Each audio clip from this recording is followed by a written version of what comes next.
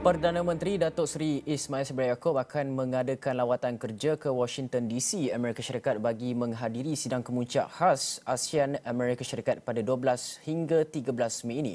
Perdana Menteri akan mengetuai delegasi Malaysia ke sidang kemuncak khas berkenaan bermula 10 Mei.